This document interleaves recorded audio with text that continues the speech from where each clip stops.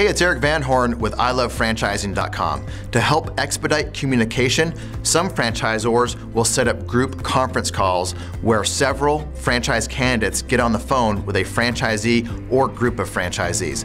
These calls can be extremely beneficial when you are having difficulty reaching franchisees. They are also nice in that you will hear good questions others may ask that you may not have thought about. Take full advantage of these calls.